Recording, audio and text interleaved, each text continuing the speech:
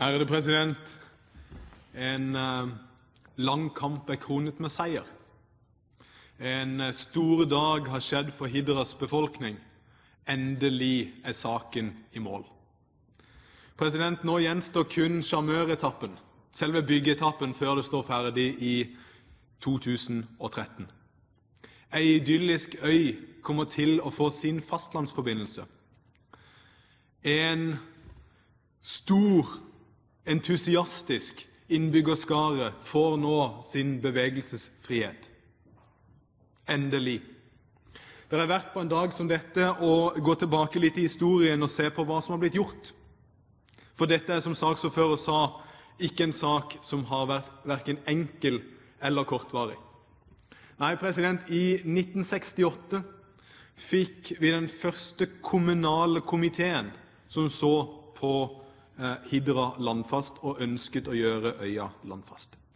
Da var spørsmålet som ble stilt, at det var umulig å gjøre noe med det fordi det var for dyrt, fordi ferje var gratis. Det vedtaket ble endret i, eh, 19, eh, på 1990-tallet. Og la meg bare henvise til den ene personen jeg ønsker å ta opp i mitt innlegg, nemlig Nils Olav Vågen. Hadde det ikke vært for Nils Olav Vågen, så hadde vi aldri hatt denne debatten i Stortinget i dag.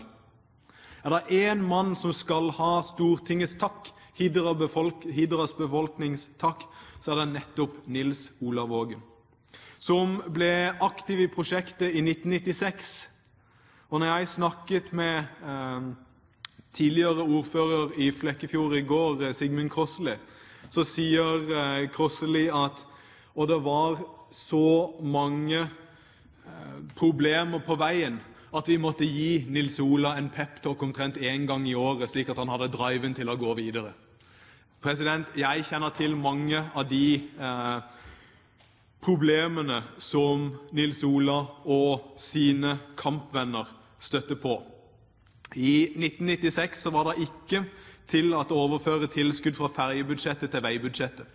I 1997 fikk man muligheten til å eh, bruke lokal kronerulling for å gjøre de første offisielle grunnundersøkelsene av en tunneltrasé. I 2001, når jeg kom på Stortinget, var dette en av de første sakene jeg ble engasjert i.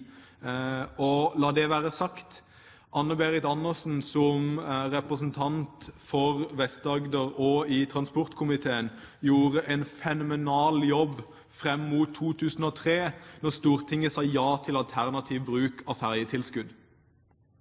Deretter har flere ferjesamband blitt avløst av bro eller undersjøingstunnel med denne finansieringsmetoden. For å ta et par av de andre prinsippvedtakene som har blitt tatt på veien for å komme i mål til hvor vi er i dag, så var det diskusjonen om hvor lang en bompengeperiode kan være. Først var den 15 år, ble til 20. Stortinget fattet et nytt vedtak hvor den var 20 og ble til 25.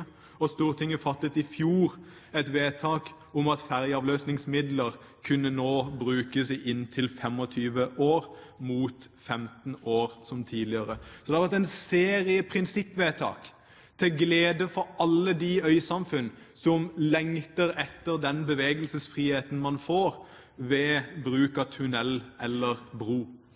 Og her er det Hidras befolkning, med Nils Olav Vågen i spissen, som har kjempet de igjennom med iherdig hjelp av en rekke og tverrpolitiske representanter på Stortinget.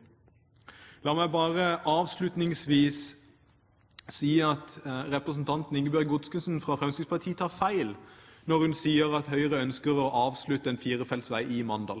Det Høyre har vært entydige på, er at hvis vi hadde vunnet valget i 2009, så ønsket vi at veien skulle stå ferdig som fullverdig firefeltsvei Oslo til Mandal i løpet av gjeldende Nasjonal transportplanperiode, altså 2019.